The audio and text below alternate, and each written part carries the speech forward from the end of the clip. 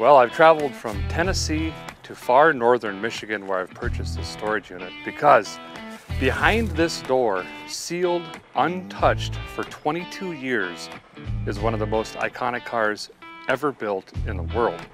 A 1987 Buick Regal T-Type, factory turbocharged.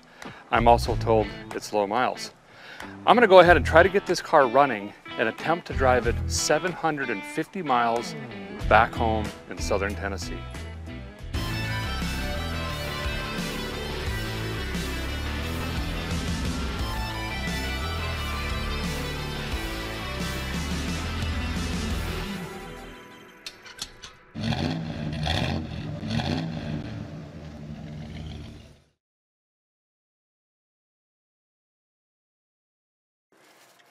So when I purchased this vehicle, I sent the money and hoped that a title and keys would show up, and they did.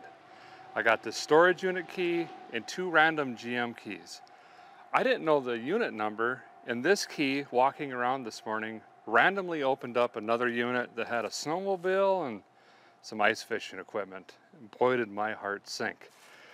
Then I called and confirmed it's this unit. Let's go ahead and open this thing up Again, this car has not seen daylight in 22 years.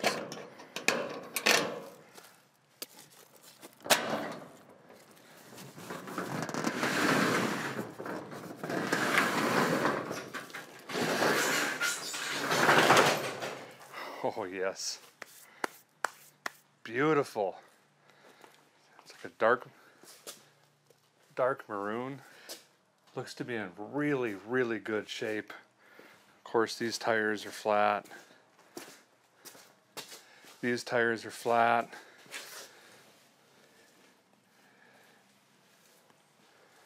Wow. It's got T-tops. This is the first time I'm seeing this car in person. I saw a couple photographs, which, you know, they were old. So you never really know what you're getting into. The emblems are turning green. Some sort of environmental reaction or something. Not quite sure. It's got the factory exhaust still on it, I can see over here. You can see where water has dripped a little bit through the years, through the roof here. But that's it. Unfortunately, the owner of this car had passed away, and the wife, lovely woman, she found out about, well, what's this reoccurring charge for a storage unit? Lo and behold, the old timer stuck this away over two decades ago. I'm sure he had intentions to probably sell it, something like that. I don't see any rust. I don't see any body damage so far. Here's how the keys were sent to me. Buick keys and the lock key, which we already used.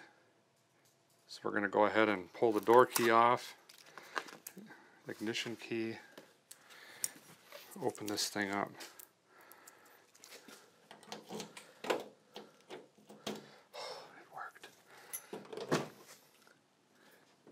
Oh wow. It doesn't even smell bad. That's incredible. 66,000 original miles. Yes! I'm kind of getting nervous. It's obviously way too nice for me. But we got to get it out of here. We got to put this thing back on the road. It should not just be sitting in here like this. It's the seals are so good. The air is stopping it from closing unless you really give her. It doesn't smell bad. It smells like 2001 when it was parked. Just Buick guy stuff. Crazy. Okay, so here's the plan. Remember the independent Chevelle when I bought that and I had it towed to a motel parking lot where I worked on it there and then tried to drive it back home? Well, we're in that same scenario. We're in cottage country, way northern Michigan. There's no car rentals and Ubers and taxis and parts stores and tool stores, nothing. Tire stores. So it's going to be pretty well impossible to try to get this thing on the road right here. So what we're going to do is I brought a truck and trailer. We're going to roll this thing out, get it on a trailer, and take it to a friend's house. He's, his in-laws have a shop there. And I'm going to work on it there. It's just south of here.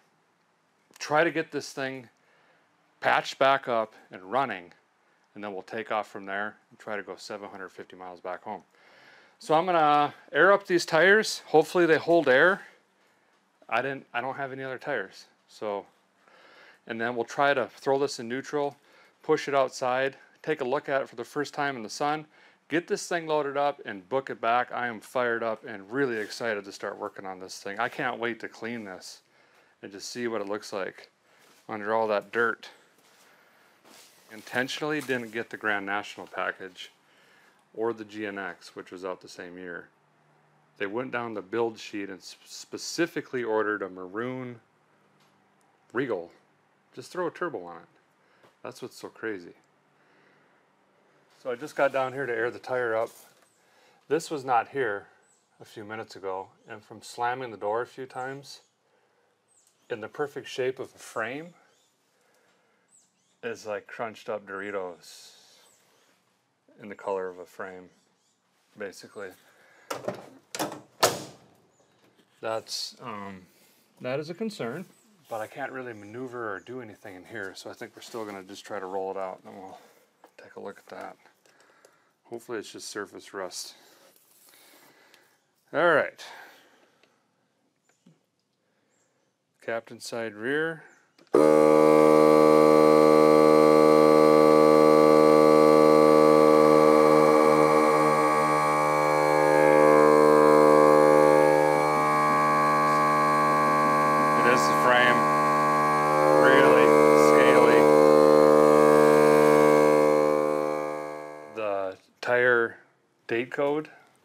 Put on in 1998. so that would have been two, three years before it was parked. There's still tons of tread on them. So they just put new tires on it basically. And based on the miles, hardly drove it and then backed it in here.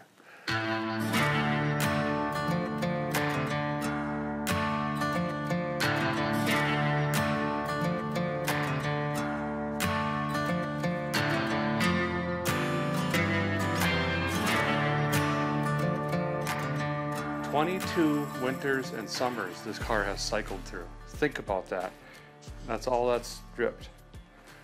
It, rad might be empty. I don't know what they did for that, but it's pretty wild. You can actually see the car on the concrete. This must be from the brakes. Scraping off rust as we were rolling it.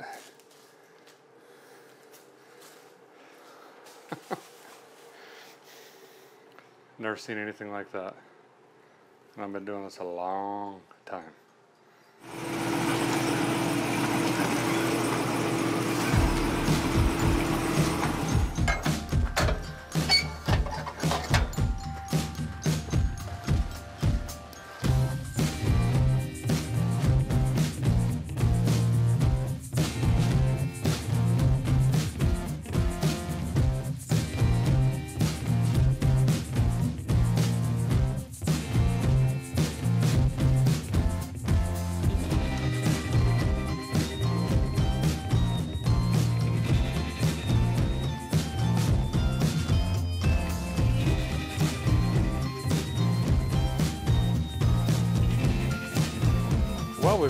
We've got the T rolled into the shop here, and this is going to be home for the next few days or until I can get this thing running and hopefully back on the road and make my way back to Tennessee. I think we can finally get both doors open, the trunk, the hood, and really take a close look at this. And then I got to get this thing washed, and we got to start digging in. Guys, going to start back here in the trunk. I always like to take a gander, see if there's any engine parts, pieces, things like that. Wow, clean. Think we're safe actually. It is clean. I think that's uh, T-top bags. Original Space Saver spare. We got the jackulator. This is fantastic. So this is the list of RPO codes. And I can already see LC2, which is the 3.8 liter turbocharged. J47, That's the uh, Regal Coupe. Positractions. That basically tells you everything about the car and how it was built. Looks like it got some Mobil one. 530 back there, but clean, really clean. This interior is incredible.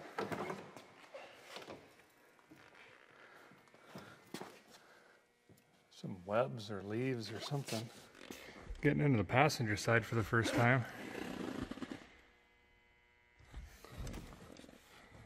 Really clean. Got a light bulb or something on the floor over there.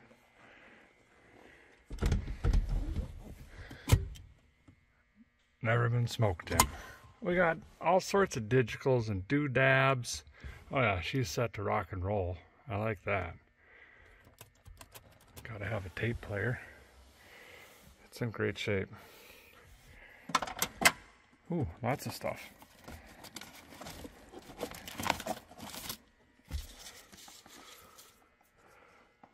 Well, this is interesting. June 30th, 1990.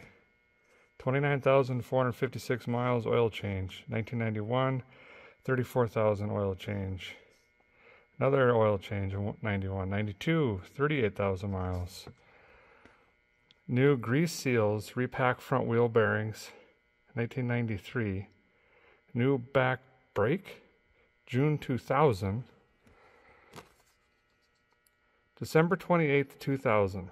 Grease, job, oil change, filter, Mobil one, 65,360 miles. That's when it was parked.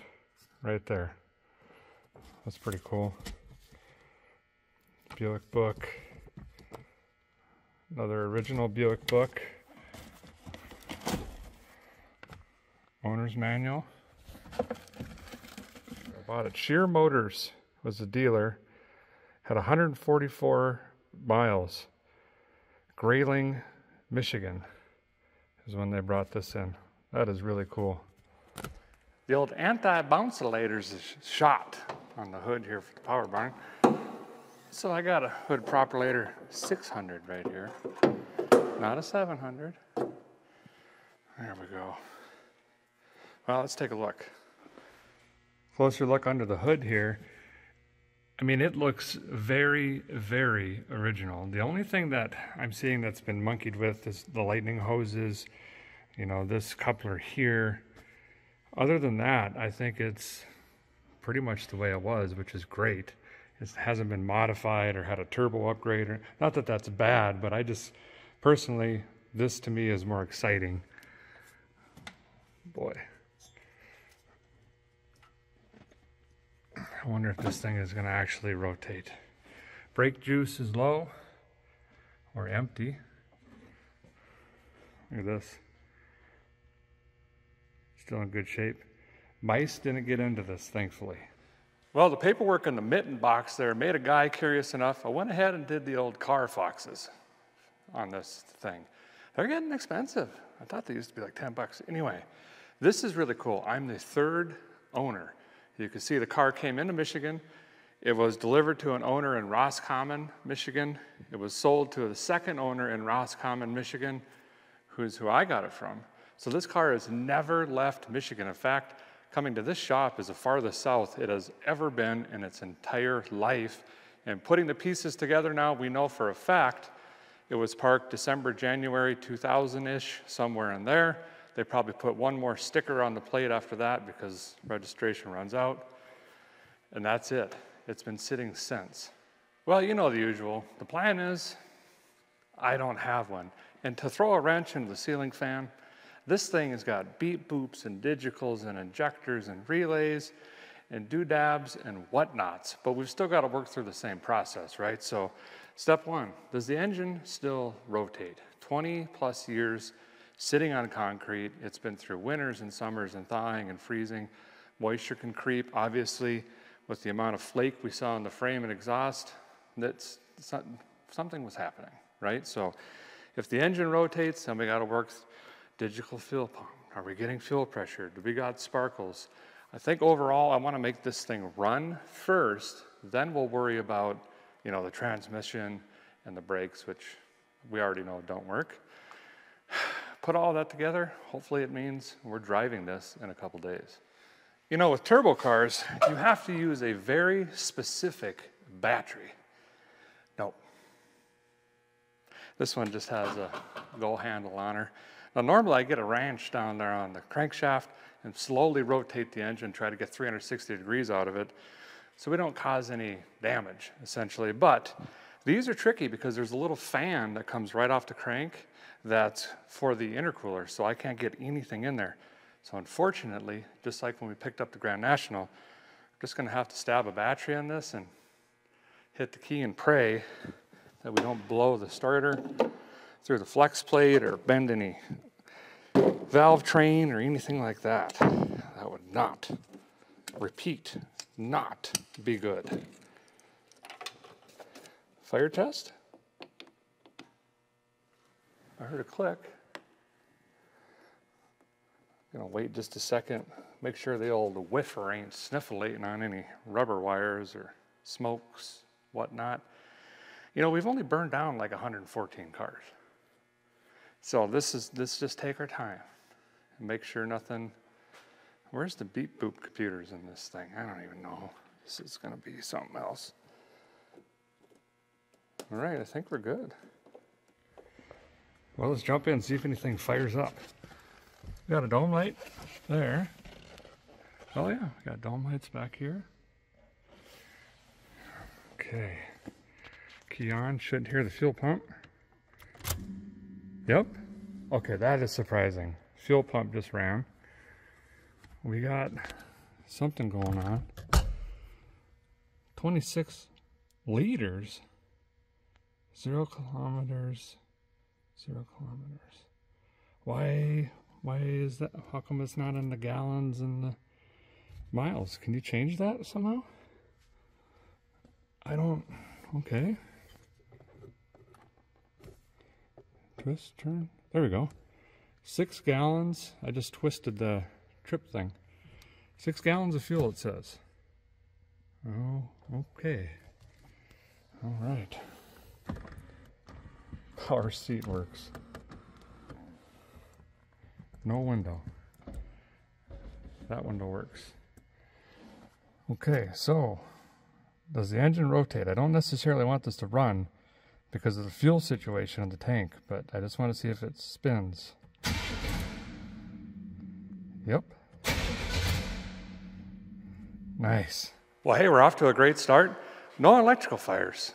Gauges seem to be gauge-lating. The fuel pump even kicked on. Maybe that's operating, but we've got a whole thing to address back there with that. Right now, I'm going to switch gears quick. Like I said, I'm to wash this thing down. We're going to see what's under all this dust and dirt.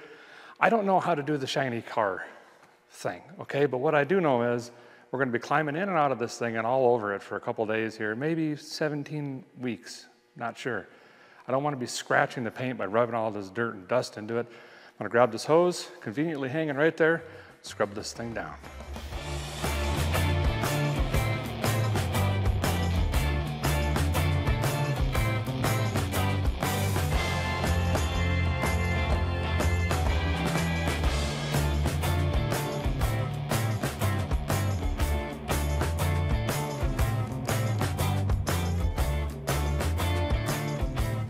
Well, guys got her all washed up here, and boy, she's shining bright like a diamond, like that right hand lady says.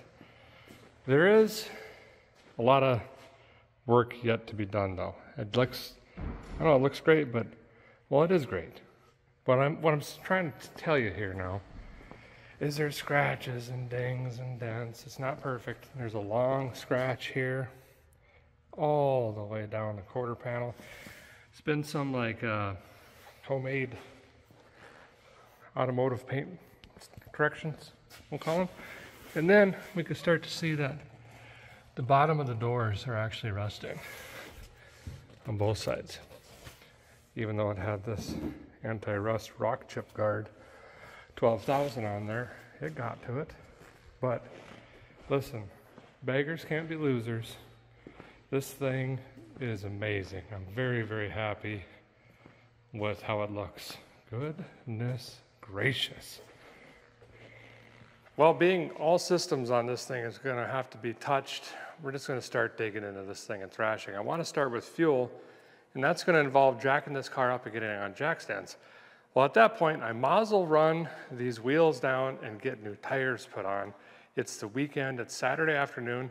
There are some places around here, but I gotta be smart with this because a lot of them are closed tomorrow. So get this up on jack stands, bust these wheels off. I gotta go drop them off to get new tires put on. I'm probably gonna put the same exact thing. We gotta have white letters, obviously.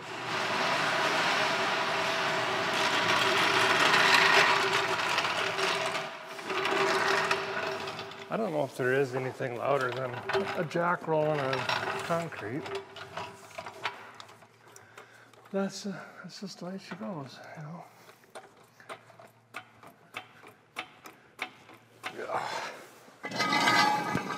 Gotta be honest, it feels weird not laying in a field right now.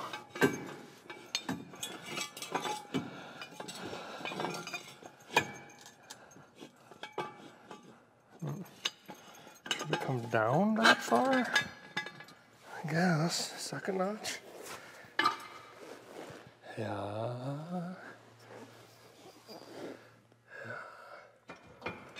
Oh, what are you telling me?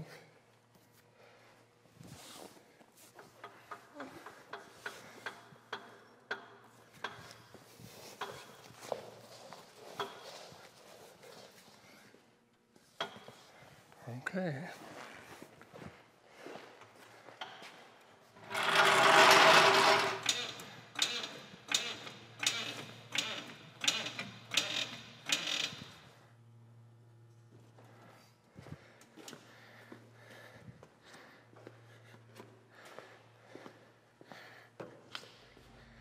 Got the captain side front tire off here. A couple things. It did have brake rotors, bearings, dust cap. Looks like brand new uh, pads put in here before it was parked. Bad news is, well, look at them now. Also, this is very much not good. That is where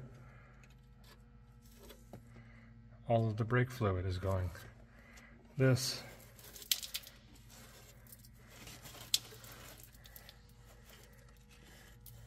Not good. Very much not good. That goes into a junction block that no one can see, even if you have four eyes. So I don't, I don't, yeah. That's, this is not good. But we're gonna stick to the plan either end or I need good rubber on these wheels. So I'm going to continue knocking these off. Probably going to see the same exact thing on the other side, I would imagine. And probably even the line that goes to the rear is also going to be pretty rotten because that's sitting up in this scaly frame. Basically more of the same over here. Rotted line coming into the soft line here. And yeah, so this this is already turning into a huge project. I do not have any of those hard lines. If we were to even try to repair this, I'm going to have to make something myself. Hip pass! Hip. Get in there. Yeah, yes. Missing a center cap on this one. Yeah! Ah, yeah. So the fuel tank back here has definitely got to come out. I, when was that, a year ago? Maybe more. We picked up a Grand National barn that had been sitting about the same amount of time, and the tank was an absolute mess. Uh, I spent a half a day, maybe more. I dropped it, I tried to clean it. We put a bunch of chemicals in it and marbles, and it was a whole nightmare. And then we fought the fuel pump as well. So I'm not even going to attempt to do that on this one especially since I think this one's probably going to be worse. There were definitely some severe moisture issues with how this car was parked or where it was. So I'm just going to go ahead and drop this tank. I did hear the pump start, but we might even just replace that now as well. Mazel, we got it down. I brought a tank and a pump with me this time. So hopefully that's not going to be an issue. I got two straps I gotta get down and the bolts are hidden up, sandwiched underneath that muffler, if I remember right. So that's really, that's really great. And maybe it did only get one rear brake. There's old timer's handwriting, just says left. I don't think the other one was Craigslist rebuilt like that. So why would you do one side? Not sure. Frame tag still on it. For some reason the shocks look brand new still. in comparison to everything else. But anyway, I'm going to knock these two straps out, try to lower this tank. It's only got six gallons in it, according to the digicals, so it hopefully doesn't crush my rib cage.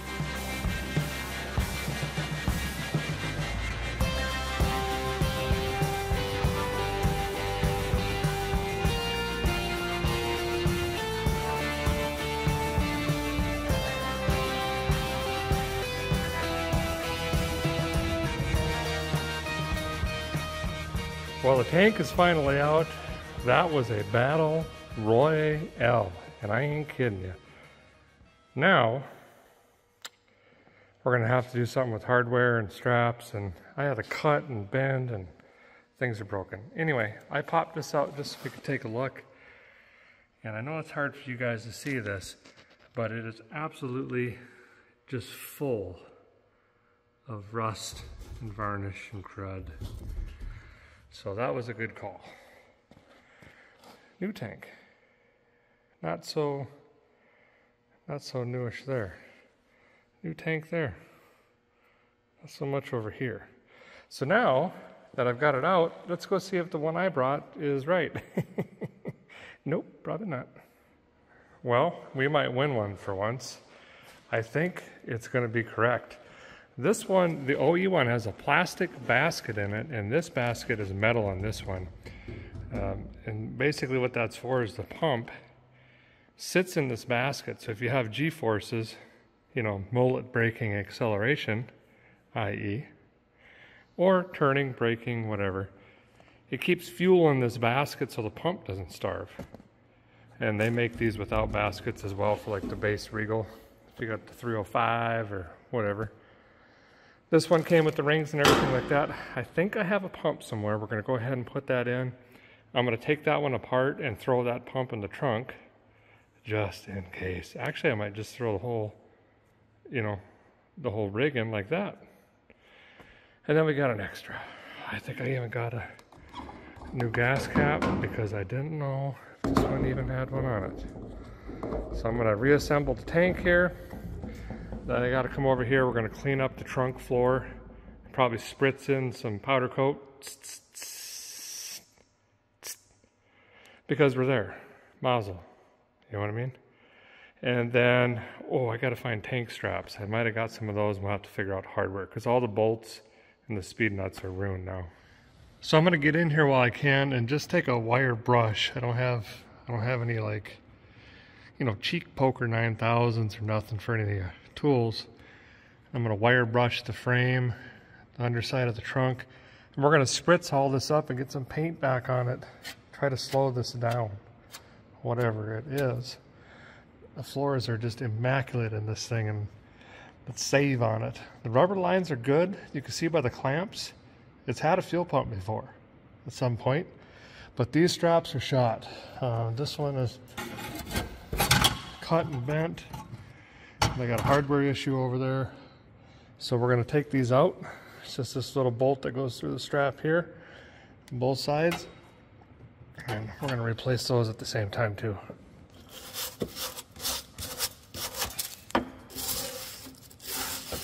Oh boy. Oh yeah. This is to take a while.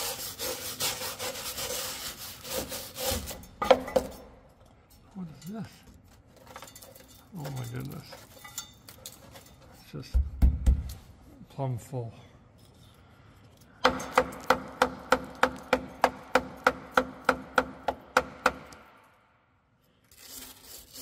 Never gonna let you down. Never gonna make you stop. I don't want to hurt you. Oh boy. See you guys in seven months, basically. Rattle Can, Rattle Can Restoration. I'm gonna have to do this again with some very potent, high quality rust killer. But we're just doing what we can while we can. Oh yeah. This is brand new. D1635s. That's all you need to know. Good for chassis paint, frame paint, firewalls, you name it. See? Brand new. Lost the receipts. Well, the guy's got all the rust scraped, hammered, banged, wire brushed, cheek poked off the frame, got that, you know, put some color on. Got the bottom of the trunk cleaned up in the spare tire tubberoonie.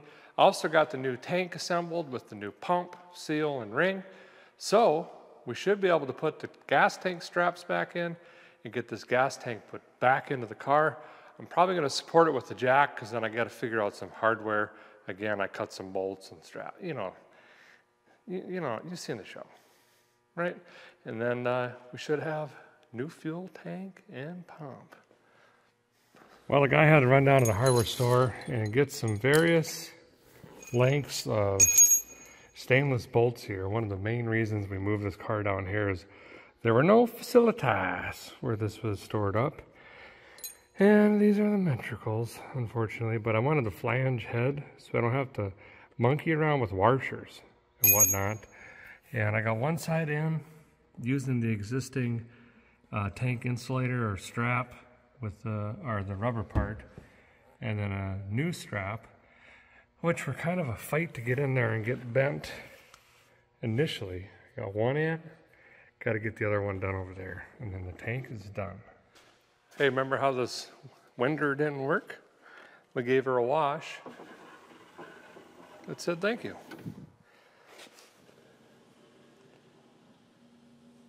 All right, shh. Listen now. When I turn the key, we should hear the fuel pump. Fuel pumpage! Yep. I'm to wait to put gasoline in because I don't necessarily want to build fuel pressure up here yet. We need to flush the line. I don't want to send all the bad fuel that's in the line into the injectors because that's a whole nother trail of unicorns or whatever, whatever the saying is. We got to test spark still, do some other things, but the relay is working, the ignition is working. We've rolled the engine today. We've got a fuel tank, new fuel pump. We've checked all the fuel lines. We know we need brakes. That's pretty much where we're at. It's been a very, very long day. I'm going to get some rest. We'll see you guys tomorrow morning. We're going to see if we can get this thing running. No, that probably won't happen. But anyway, I will disconnect this so we don't burn down this nice shop. Whoa, whoa, we got a fan for some reason. She's raring to go.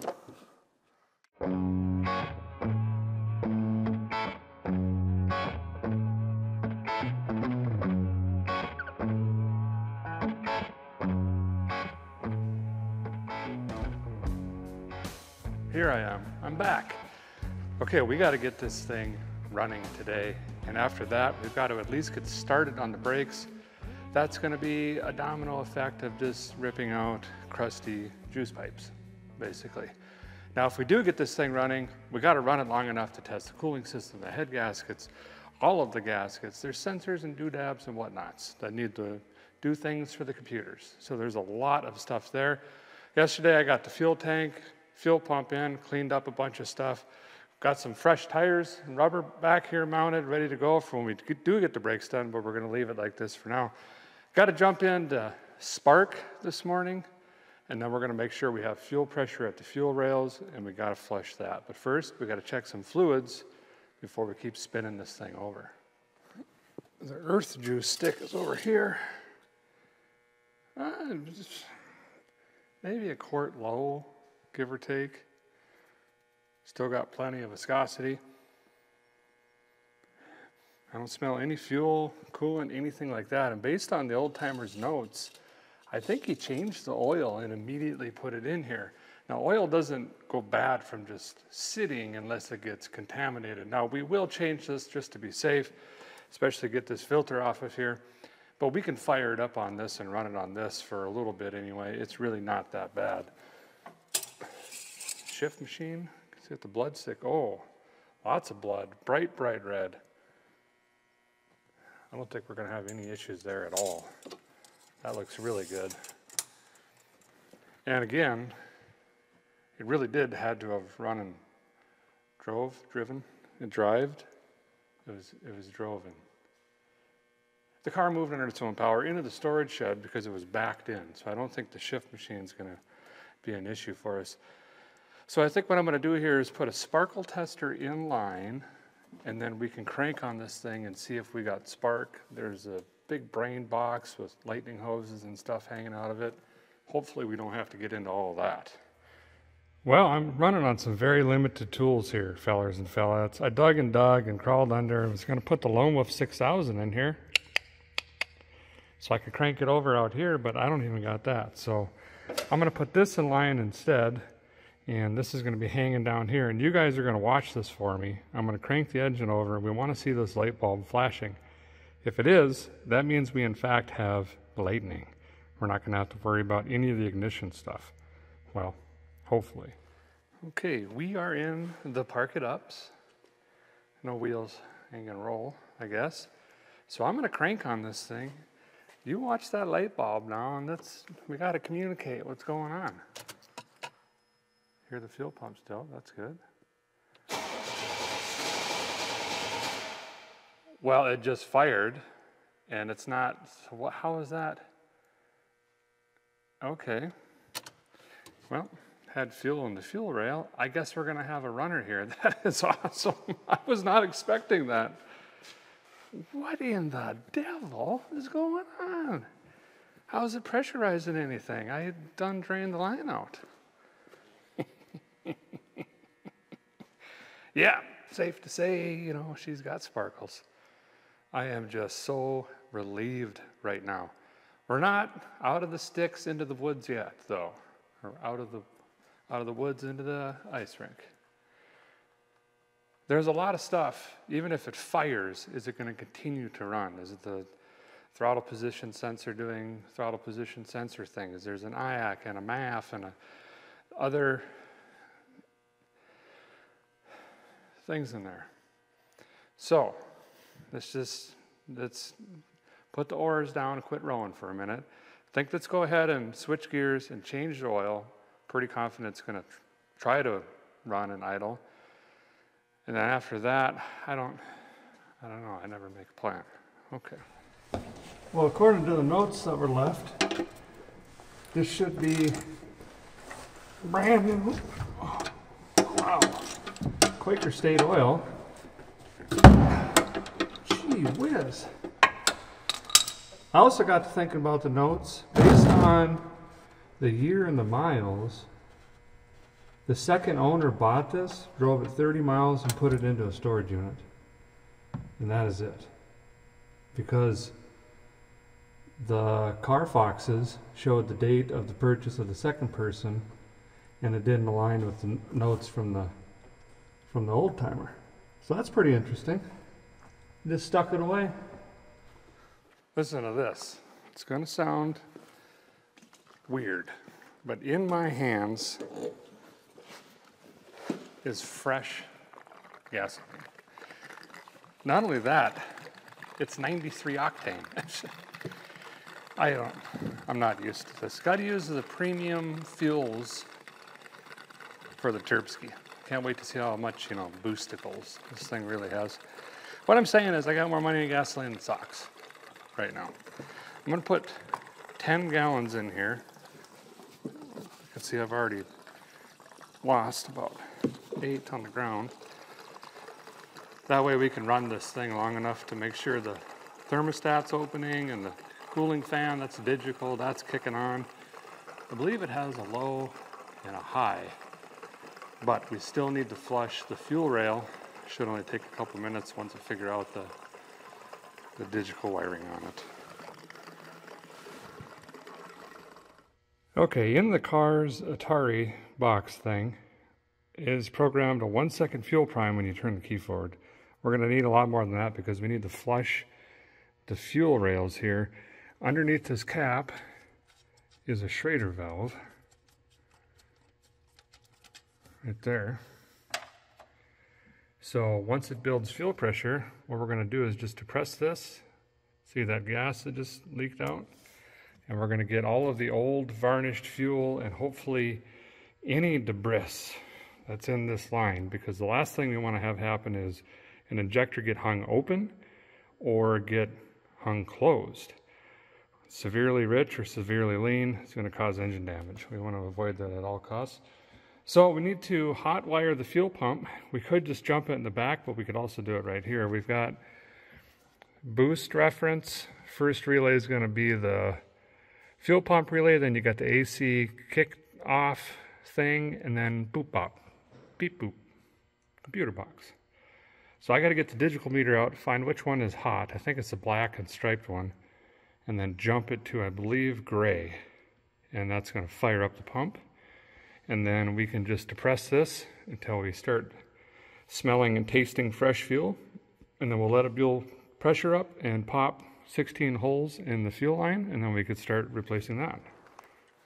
Power tool. Let's see. I think it's gray anyway. I'm going off of memory from the Grand National and also uh, the three colors we had back at the pump were purple, gray, and black. And being I'm not seeing a purple here, that would leave me to believe by deduction, deducializationals, that it must be the gray one. Going hot on the battery. Turn the key. See what we got. One of those will be hot for just, I think it's a green one, hot for a split second, but we want the one that's showing 12 volt keyed and we'll just jump it over.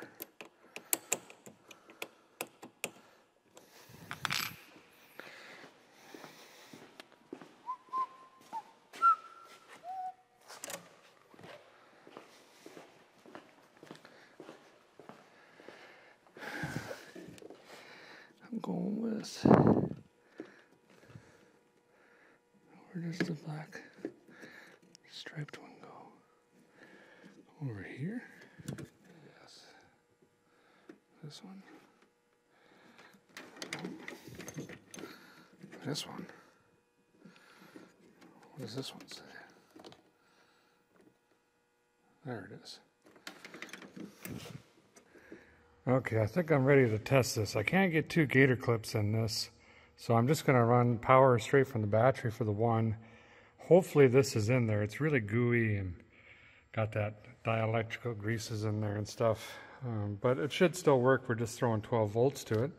So listen up here. And we should hear fuel pressure. Nothing. Perfect.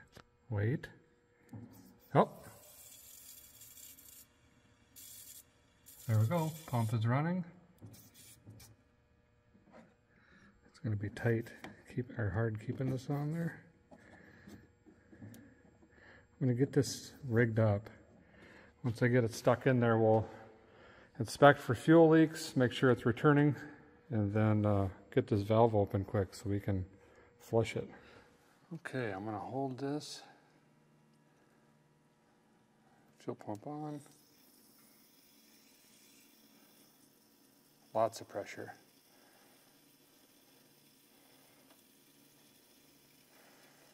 That's pretty good, enough to start a fire. Now I'm going to let it run, and it's going to be circularizing, doing the fuel managementals things, and then sending the rest back to the tank. So I'm going to let it build pressure now and see how many holes it blows in the steel line that's laying in the rotted fuel rail. Back under the car here, you can hear the pump running and you can hear it returning. And the great news is, I don't see any puddles of gasoline on the ground. So that's great. Well, it's a moment of lies, basically. We've got fuel tank, fuel pump, fuel pressure, fuel cleaning ish. We know we got sparkle, oil, oil filter, battery. Let's crank this thing, see if it runs. Two decades sitting in a storage unit.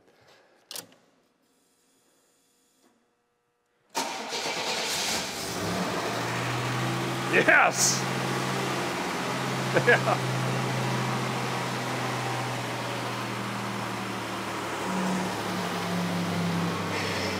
No valve train noise. Oh, little power steering. That is uh, just incredible. No valve train noise. We, I'm sure we built oil pressure cranking on it, but need power steering fluid.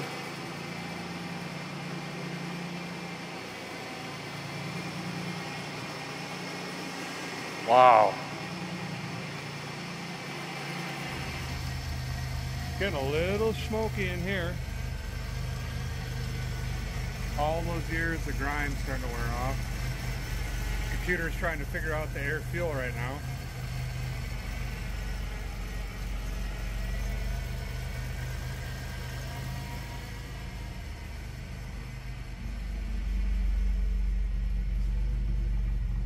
Nice and quiet, no smoke.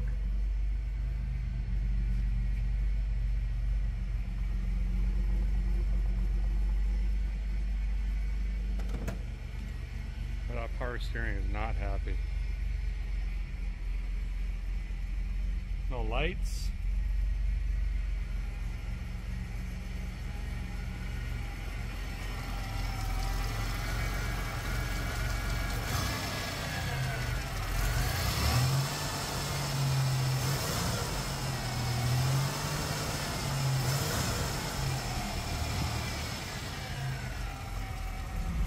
Well, unfortunately, we do have a fuel leak. Running off the side of the tank and coming down here. I believe it's the steel line on the return side right by the tank because it was kind of hanging down right there and I bet all the monkeying around putting this up and down a few times uh, just took that line out. So I get to drop the tank again. That's pretty cool. Also very cool, the car is running. 22 years sitting. A little rough, but it's going to come back around. Also, that might be the charging whirler making that, not this. This is definitely pumping, and it is full. Turning the old go left, go right selector. Beep, beep. Uh, does not change that tone, only Ripham's does. One last thing I'm going to do before I turn it off and drop the tank for the ninth time.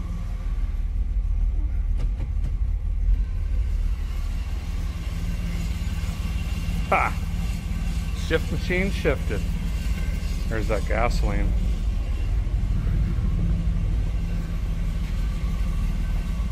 Well, that's good. That gives me a little more hope. Yeah, it's leaking up in there. So probably just got rotted in that rubber boot. So we're gonna have to shorten some of these up and add some more line. It looks like the return, but I'll have to take that apart and take a look at it here. Yeah, that's that return line. Got a geyser. That's not too bad of a fix though. Yeah, while I'm in here, I think I'm gonna go ahead and replace the uh, feed line and probably even the vent line. I was trying to save 30 bucks. Here I am. Had to buy the parts anyway, and then I got $7.19 in labor laying under here.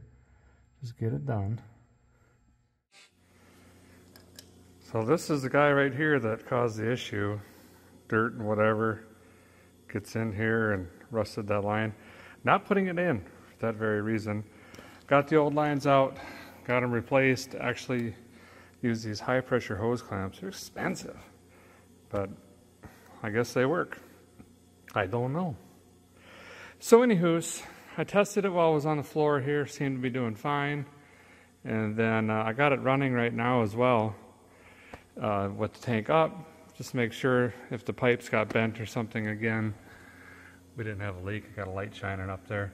Gonna wait just a couple minutes, make sure there's no leaks, then I'll get that other strap up, tighten it up. And then we can fire this thing up again, let it run a little bit longer. All right, we'll give her some more time to idle.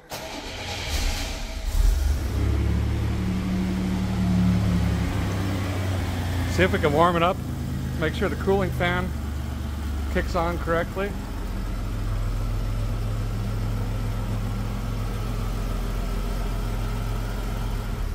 I'm actually going to let it run in gear. Let the transmission pump. Let the rear end get some oil splashed into it. Get the bearings lubricated up. Going to try to get a head start on the brakes here. We're probably going to have to turn these old drums here. Oh yeah. Turning drums rebuilding. See? Bringing them right back around. And then we just add some drum resurfacing material here.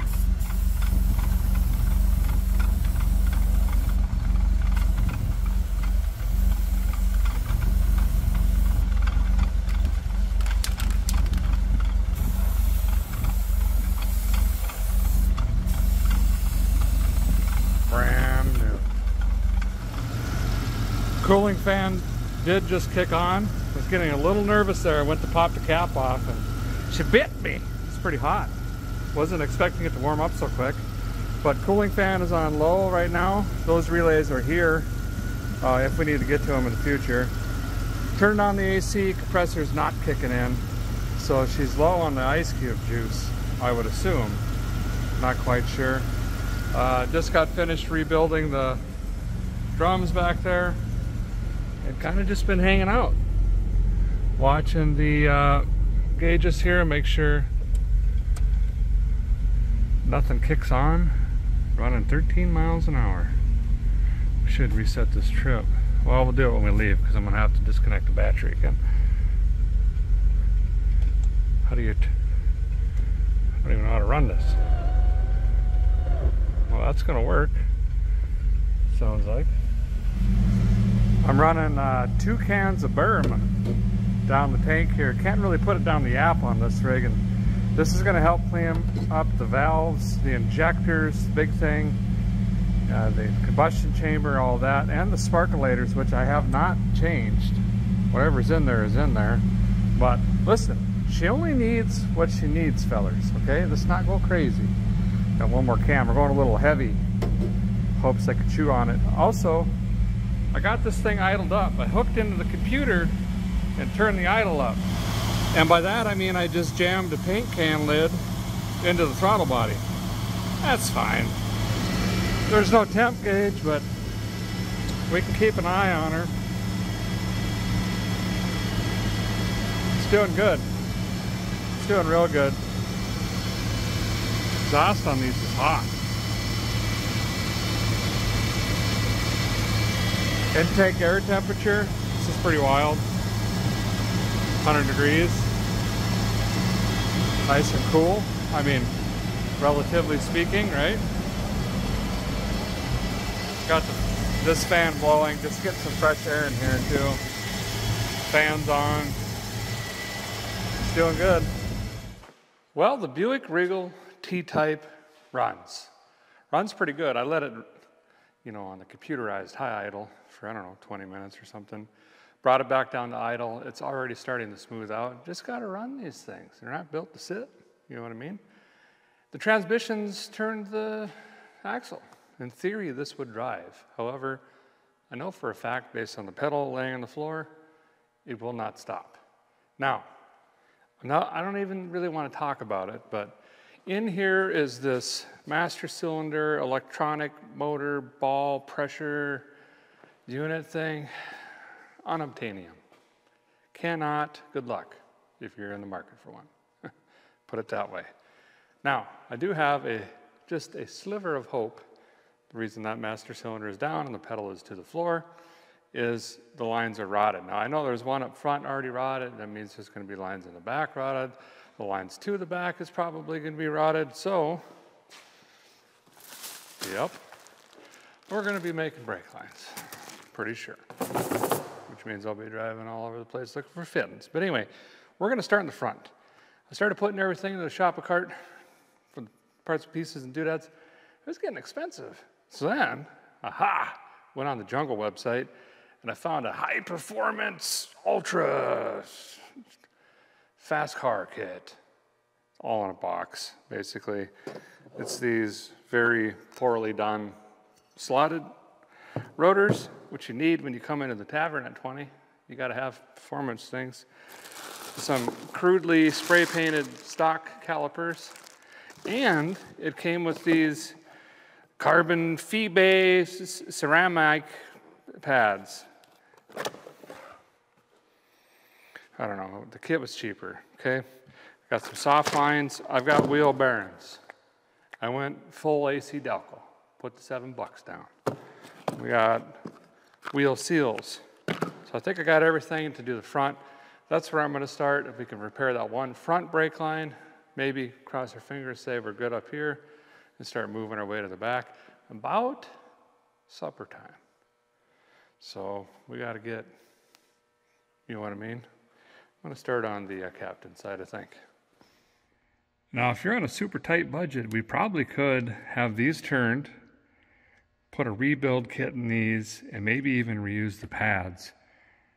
But I like this car. It's only going to go up in value. I kind of just want this to be halfway gooder. And we know we can put a little bit of money into this car and it's not going to hurt us too bad, even though the upper control arm is just falling into Anyway, ignore that. It's fine. So we're going to pull these pins out. This line is completely rotted right there. We know it's not going to work. So I can just basically break this side off over here. Well, there you can see the fresh liquid. So all that's going to have to get replaced pretty much. So I'm just going to start digging in.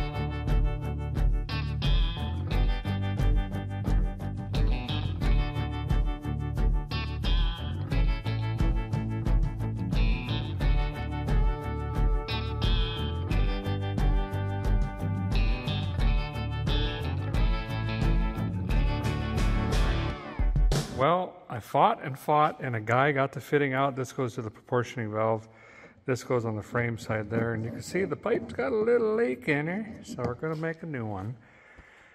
We're going to use the, this is what you guys, we use up north here in the Midwest, or the northern states. It's a copper nickel alloy, basically, or just think of it like copper coated steel. It helps resist all the salt and everything else that just eats these lines up like nothing. And then this end will go into a new soft line. And then of course that's going to hook into the caliper, which hopefully has a caliper bolt. It does not. Wow. That's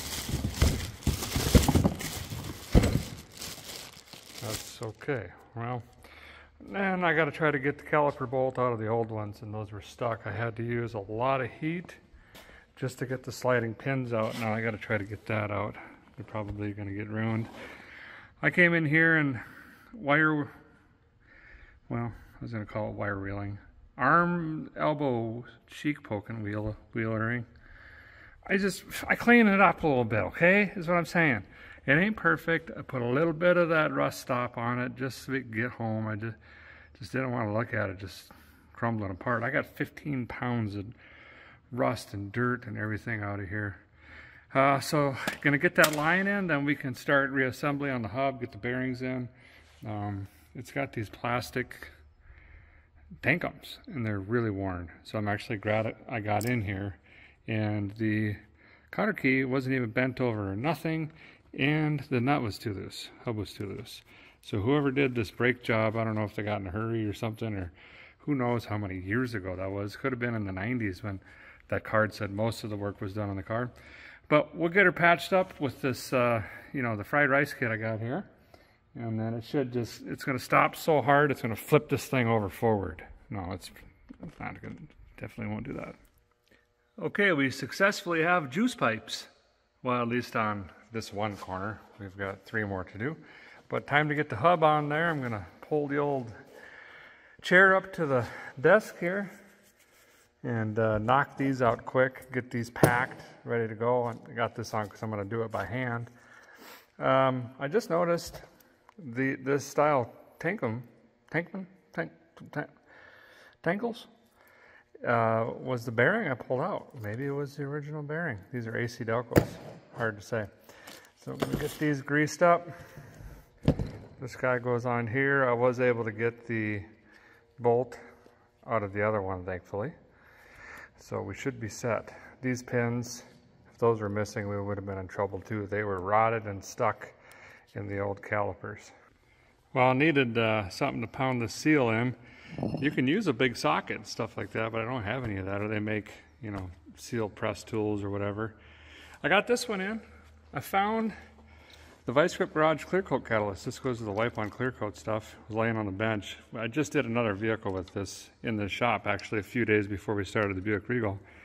And it just happens to fit absolutely perfectly.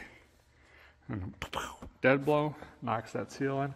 So these will be all ready to go. So the other side hopefully will go a little bit faster.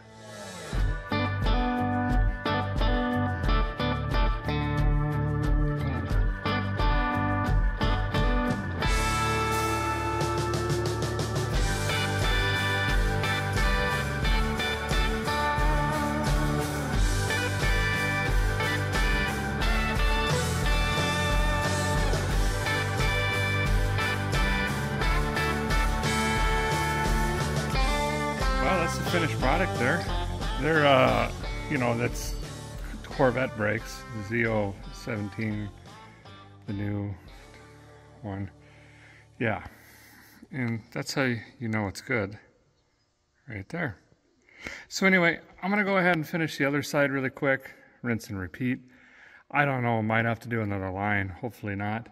And then we can get to the rears, which unfortunately has just been sitting back here dripping oil. And I don't know why. I haven't even touched the pedal. Well, the dinner plate brakes are officially done on both sides. Off to the rear here, and the dog bowl brakes in the back. This drum is shot. And also the wheel cylinders. Well, although the shoes look pretty good and the hardware was definitely replaced at some point, the wheel cylinders are going to be shot. Juice pipes are already out. Those just snapped into 47,000 pieces. There was virtually nothing left. So I'm going to try to delicately take this all apart. I've got some wheel cylinders. We'll put those in, try to reuse everything else. If not, I did pick up a hardware pack just in case, but there's plenty enough life on these to go ahead and reuse that. And then I got some new drums. We'll put those on, which is a shame because I just got done turning these. That's right. Could turn them in for a core, put some new ones on.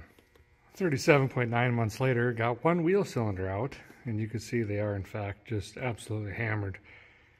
Now, GM was trying to make these easier to put in, I think, because normally there's two little small bolts. Goes through the back, and they always got rusted, and you know, they were hard to get out. When I moved to this clips thing that just kind of presses over this and then snaps in, and believe you me, I fought. Well, look, I fought and fought and fought and fought and fought to get this thing out of here. So that's that's pretty neat. Jam this one back in. I guess you just press these in from the backside. Away we go.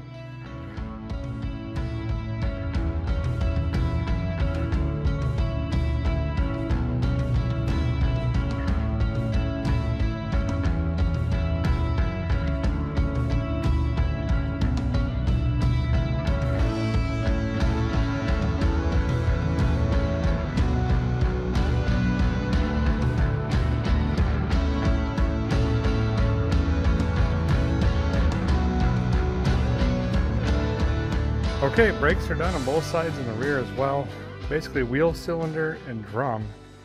Left all the other stuff alone. We can return that, save a little bit of money. Now I got to make some lines in the rear as well. Still getting used to the shiny car thing. I'm not used to, you know, paint protection. Sure. Anywho's. Got to make some lines. There's a rubber soft line in the center of the axle we got to get to.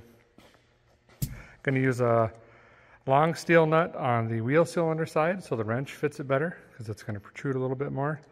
And then I'll use a, a short one on the actual T or distribution line that hangs over the center of the diff there. And after these two lines are in, we can add some juice and finally see the dreaded question. The biggest thing that I'm worried about is all of this stuff right here not doing this stuff. That would not be, we were there, we've been there before. It would not be good. Whoa, what the devil is that about? Plumb dry. Front and rear, be a good time to clean out that stuff. Looks like that's mounted slightly crooked or it's sitting crooked. Anyway, we ain't got no juice in that. So what a guy's going to do here is go ahead and put a fitting on this end of the line here. I'm going to run that into the wheel cylinder on the drinker side, and then we'll bend the lead and flexo make it all the way over to the distribution block. Going to take the old marker that a guy always has to carry in the front pocket, mark it, take it back out, cut it, put that fitting on. No, I take it back. We're going to flare it. Then realize we didn't put the fitting on. Then we're going to cut it again, then put the fitting on and then stretch it tighter. Plan. So once I get this, you know, it doesn't have to be super tight, but at least started, I'll do some initial bends and make sure that it's going to get into my bracketry. And then I'll tighten it on this end to hold it. And I'm going to go on the other side, bend it over to that distribution line, which comes down, and then mark it, and that's where we'll cut it. There's no rust under here at all. I just, I can't, I can't believe it, you know. What are we going to do? I don't know. We just got to get home right now. Well, just finished up the rear brakes. Started trying to bleed these. Uh, yep, you called it. The one line I tried to not replace in the entire brake system has popped and is squirting juice all over. So now I got to get this replaced or patched, and that's probably the most difficult because it runs over the frame, under the cross member, over to the distribution block. And if you remember the fight I had getting the fitting out of the distribution block for the other line, we're either going to embark on that again, or I can maybe cut this somewhere underneath the cross member and patch it in, but I don't have fittings, so I'd have to go get some more fittings for that. I'd need uh, three I got two new ones and this rounded off rusted one that's not going to work. So that's where we're currently at. For these bends here, I just take a socket, put it on the fitting, and just roll the tube right over it, and that way it doesn't kink it up. So that right there, the fitting undone is the one I'm after. You know, heat and words were said. Let's just put it that way. It runs underneath the cross member and then all the way over, up over the frame, outside of the frame, over into the soft line over there. Now, I'm running out of time. Let's be honest. We don't even know if the master cylinder works yet. So I'm just going to kind of run this line loosely, probably zip tie it up, just enough to get us home. And then when we can get it up on a lift, or at least, you know, in our own garage, we can start tearing into that a little bit better and make it nice. For now, we just need juice to go from there to there. Oh, something blew up.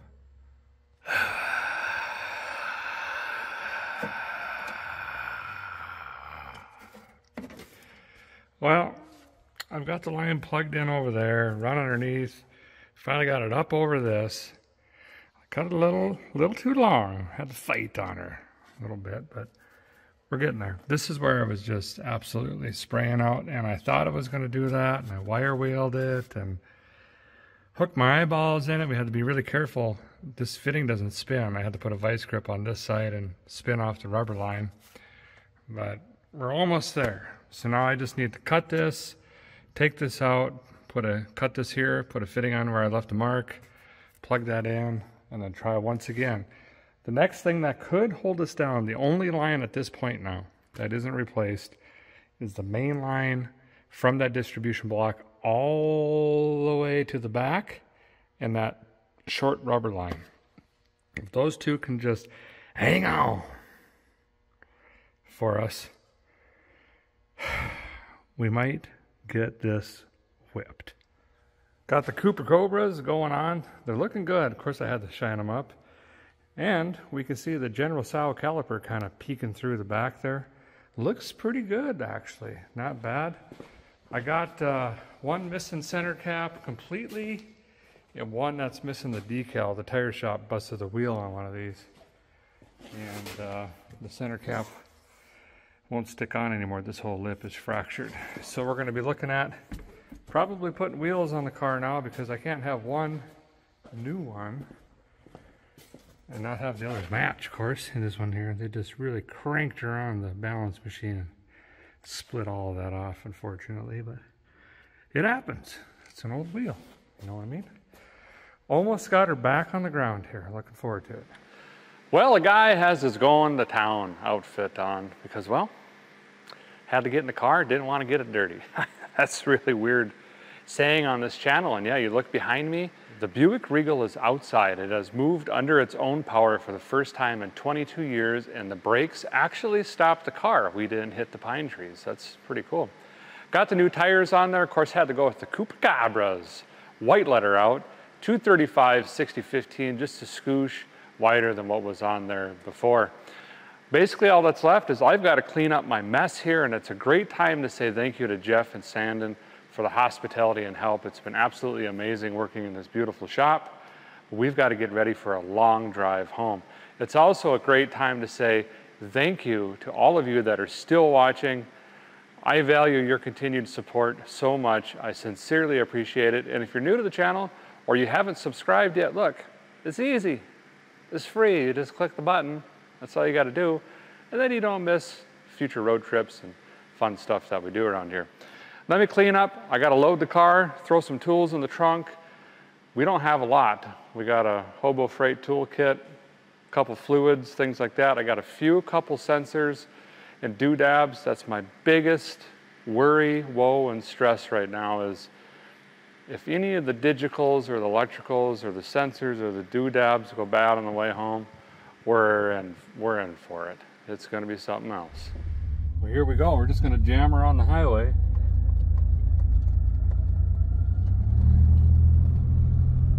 Shift, second gear. Speedometer works. Third gear. We got all the gears. We got all the gears!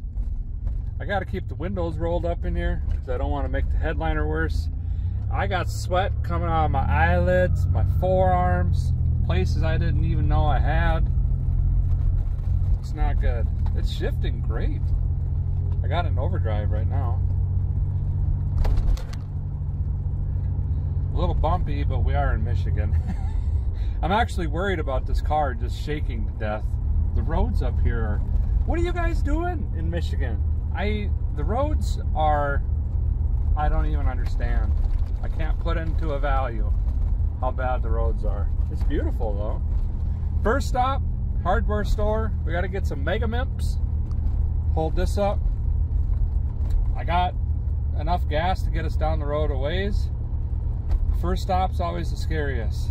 We got to let this thing warm up on the highway. Hopefully everything does its things and the computer does the computer stuff. We don't have an extra ECU or PCM or ECM or GCM or HAM or body control module mounts or any of that stuff. We got a Leatherman and some dreams. Hardware store. Here we come. Well, drove south quite a ways, found us a hardware store. Car's doing great. Still running a little rough. Uh, but I suspect it's going to come around, hopefully, as we're driving it. Remember, we haven't changed sparkulators. I do have some in the trunk. If it doesn't improve halfway, three quarters of the way home, we might accessorize on that a little bit. But I do got some Berryman in there. We'll see what happens there. Cruise control kind of works. Not really, though. I was doing 60, turned it on, and this thing fed all the coal immediately. Went wide open she hits harder than Tyson back in the day. I'll show you a little later. I just want to want to bring her around first before we start throwing all the boostesses at it. Okay, I'm gonna go get some Megamint, and also see if they have any AC recharge here. And a phone cord and probably some licorice. Well, since this headliner material is in such good shape, I really need to restore this back to factory spec. You know what I mean? So let's go ahead and start that process. It's going to take a while, but we just want to get it done right. Restoring headliner. Yeah, that's probably going to work. I don't know what you're thinking here, but I can't even tell at this point that it was repaired, so I think that's pretty much done. We can't have that flapping around in our teeth. Now, moving on to the ACs. We're gonna try this. What I'm hoping is that there's not any leaks in the system, but it just lost enough pressure where the pressure switch kicked off, or on, I guess. It would be a normally open, so now it's closed. Shuts down the AC pump from pumping because it says they ain't got no pressure. You know what I mean? So we're gonna stab a can in there. I just realized I forgot my hood propeller. See if I can find something, probably not. And we'll see if we can get some AC because with the windows down, the headliner is just gonna get foam in my teeth. And I mean, we repaired it, don't get me wrong, but I don't, I don't know if that's gonna last necessarily. Oh, got in a hurry, I forgot. This is an R12 system. This is not going to work. Well, I mean, it can, I'll explain that a little bit later. We're gonna have to get to a parts store. We're gonna have to put some conversion pieces on here in order for this fitting to work. They switched it when they went over to the old R-134A instead of the good old 12. Now, it does sound like there's pressure in here. See? So there's hope that the system isn't completely evacuated or leaked off that's great. Might, like I say, might just need a little huff of gas and it should be ready to rock. Found a, well, I found a part of a broken pallet over here. Kind of looks like a foot went through the edge of one, but nah, it was like that. Well, I searched along the route with the digital computer pocket box machine and it said there's an O'Reilly Auto Parts 25 miles or something that way. So let's do that. I am already, I am running out of shirts, is what I'm saying. It's hot! So let's go see if we can find those conversion thingies, see if we get this AC working, or I'm actually gonna have to legitimately do something with the headlight. No, that's not happening. Yeah, don't, uh, don't worry about that, borrowing it. Well, crazy guy in a mullet just came by and completely recycled the old R12 out. It was quick, nice service. Anyway, I barely hit the button and yep, she's starting to cycle.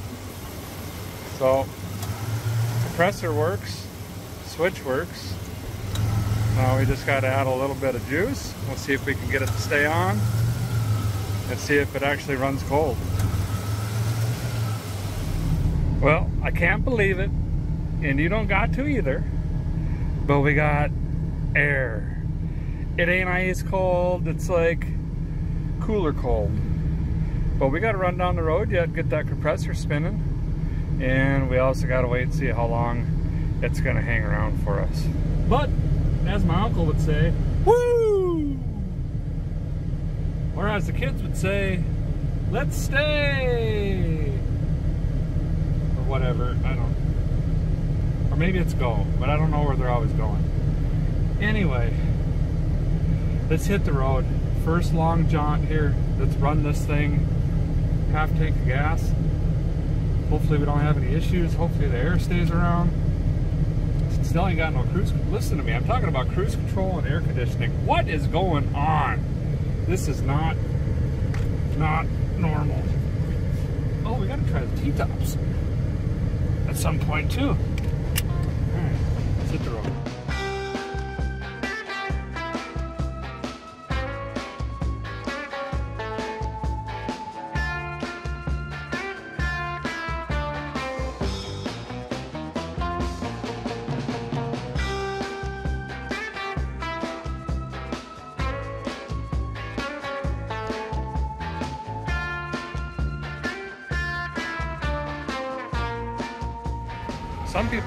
Ethanol fuel is relatively new, but did you know it powered a gasoline engine in 1826?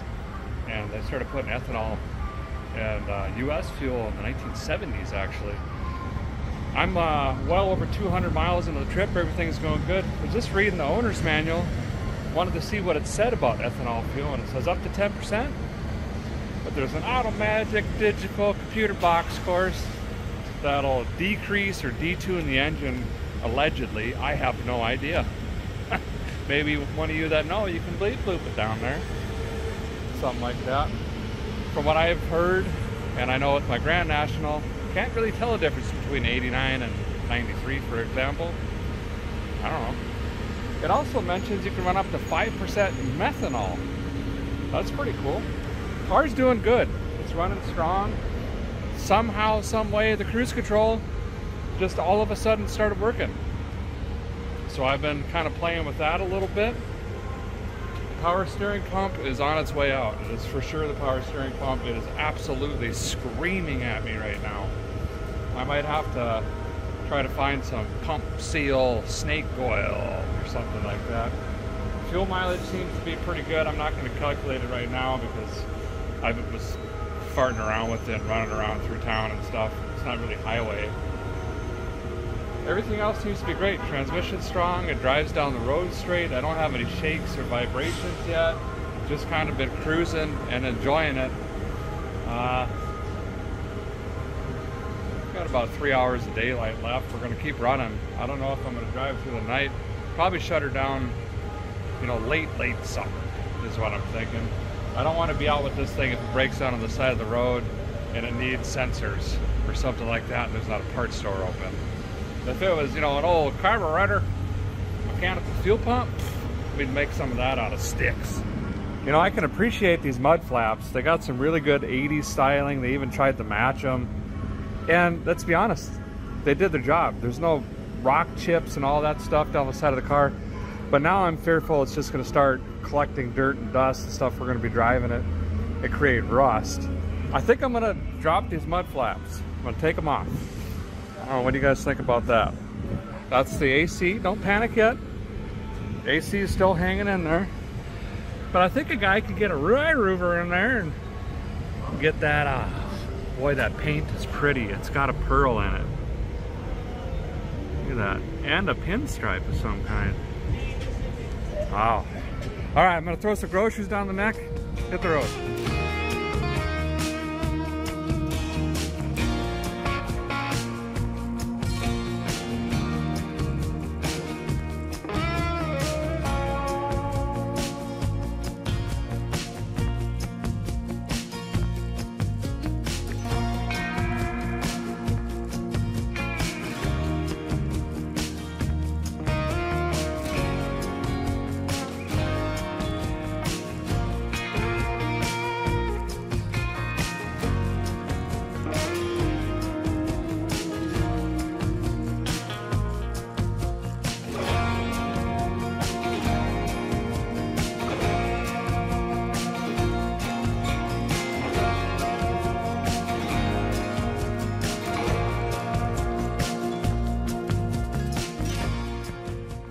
Well, fellers and fellettes, we successfully put on hundreds and hundreds of miles today.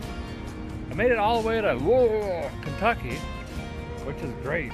So tomorrow, I don't know how, we still got hundreds and hundreds and hundreds and hundreds of miles to still go. But the good news is the car is doing absolutely fantastic thus far. Tomorrow we're gonna have to check fluids and do the usual stuff. Make sure we got no leaks or anything like that going on. It seems to be staying cool. That was also another concern, but all I got to dummy gauge, and I don't even know if that works. So I've been using the old whistle sniffers, trying to make sure that, you know, stays in a good area. Fuel pump that we put in is doing good, even though that was kind of a cheap knockoff thing. So I don't know. I'm just gonna get some rest. Yeah, we'll hit it early in the morning. Hopefully we can make it the rest of the way to Southern Tennessee. Well, good morning. What a beautiful day. Hot already. 97 million early, 9 or 8, 7 o'clock. Let's see if we can get this Buick home. I'm not even sure how many days in. at this point we are or what day it is. If I'm being completely honest. But it's daylight. We can take a closer look at the rig.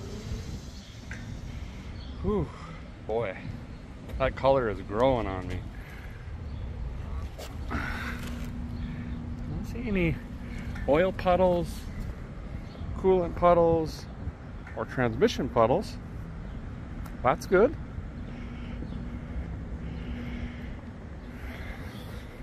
Uh-oh. Looks like we're going to be crawling around under this car yet. And I could tell just from the splatters on the back of this, we've got we've got issues. We've got rear end issues. Yes. Here's your sign, as Mr. Foxworthy would say, that your pinion seal is shot. Oil everywhere. So if we go ahead and lay under the car, oh yeah, there you go. See that puddle there? All the oil splattered back, that's gear oil. And the front of that case, or the third member, or the, the drive, the axle, the pinion. There's a seal in there that's shot. We need that. We absolutely need that to get home. Basically, if we don't replace the seal, all of the rear end gear oil is going to escape. As you can see, it's started to do some point late last night. And at that point, the gears are gonna get extremely hot and also that same oil splashes the axle bearings. We don't wanna cook our axle bearings or seals on the outside because that's even more work. So we're gonna have to get this car in the air, which I don't have anything to do that. I got the factory jack and we're gonna have to find a seal for eight and a half. I don't have an impact or any of that stuff. Basically, I think I'm gonna nurse this over to O'Reilly's and see if we can come up with a plan to replace the seal in their parking lot. Also, yes please.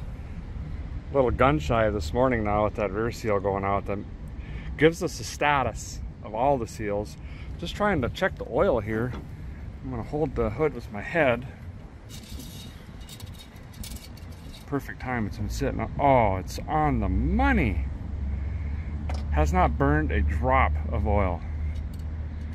That's great news. This contraption here is weeping. Can see we've lost some juice. So we've got great brakes still, but it's getting wet on the firewall and back in there. Now we can do, you can convert this to a standard brake like the Regal has, but you gotta change the whole pedal assembly. Yes. Or you can go hydro-hydraulic brakes on these now even. Believe you me, it's a little bit trickier, but it can be done. Cold start, might have to pump it six times and pull the choke lever out. You know what I mean? No. No. Come on. There we go. Good morning. Boy, I'm almost out of gas. Runs a little rough when you first start it cold and then the computer figures it out. See right there, hear a change? Now she's got her dial. Should maybe take those mud flaps off today too. Air conditioning held overnight. I like that. That's pretty cool. Uh, I'm gonna be miserably hot and sweaty here in a few minutes. It'll be nice to jump in here. This is pretty cool. Didn't realize this when we were looking at the car initially, but there's an oil change sticker in the window that said the next date it's due by is June of 2001 at 68,000 miles. So the Quaker State, the old timer wrote down, he didn't do the oil change. He had someone, someone put it in. Anyway, it's I found it O'Reilly's. It's crawl over there. Ask if we could work in the parking lot and see if we can find some stuff. Okay, I believe this has an eight and a half rear. Got some goodies. Did some shopping to save some money. Ended up going with ramps instead of getting a jack and jack stands and all of that. It's gonna be a little sketchy getting the pinion nut off. Guessed on that size. Fine. Did have a seal puller, which is, we're gonna need that for the eight and a half. The seven and a half is really easy. You can use a screwdriver. Well, I'll show you a little bit later. But I think what I'm gonna do is just back the car up on the ramps here and uh, we'll jump under, get the drive shaft out, and hopefully this doesn't take too long. Fighting that seal out is going to be the thing. Getting it back in, I don't have a seal press or anything. Also, going to be a little dicey. You don't get them in right, they're going to leak just as bad, if not more. Great. All right, nice and easy. Some more. Easier. But we need more, but easy. Right there. Maybe just a tick forward. Right there. Now we can definitely see the issue. So we gotta get this drive shaft out of the way, and then we can start digging into this thing a little bit more. Okay, I got the drive shaft down, which is just laying on the ground right here. And I'm not pulling that out of the transmission because this orientation is gonna be very important because we can't rotate the tires, right? So everything's gotta go back together precisely for the U-joint to line up with this. So I've notched it with my Leatherman. That's gonna be my lineup mark for the rotational directionals.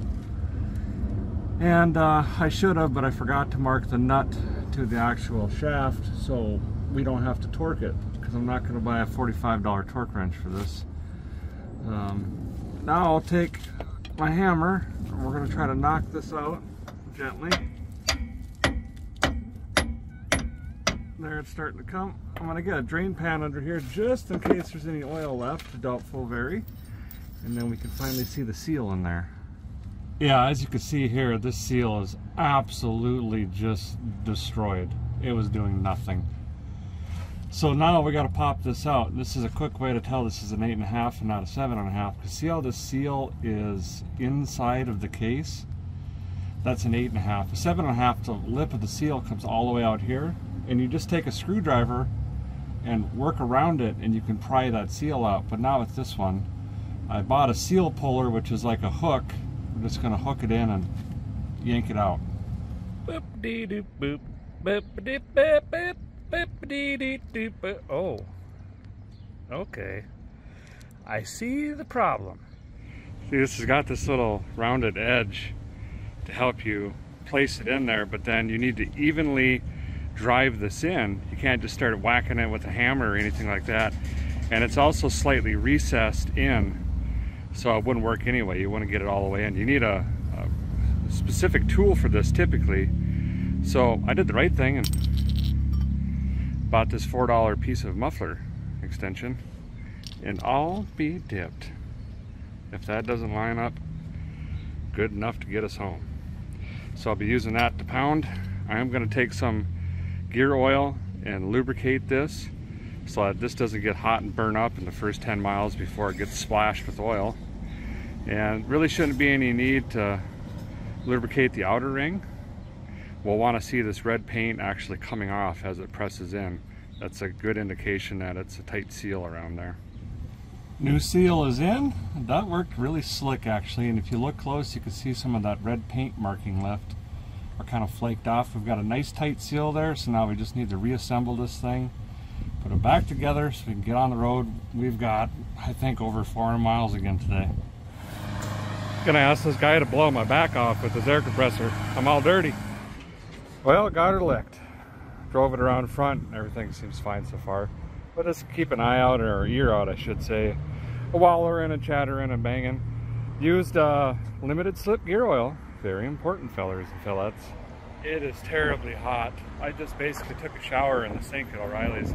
These Vice Grip Garage shop shirts are really high quality Red Kap they're almost impossible to sweat through because they're moisture wicking. And look at this. All the I'm just so Anyway, I'm gonna go get a cold water somewhere and let's hit the road. We gotta get some miles down. We got a late start now this morning. Well, just fueled up. Got some groceries. I guess we'll find the interstate and hopefully we don't have any more issues. We'll see though. 22 years this thing sat it's likely, well, I'm not to say it. I'm not to say it.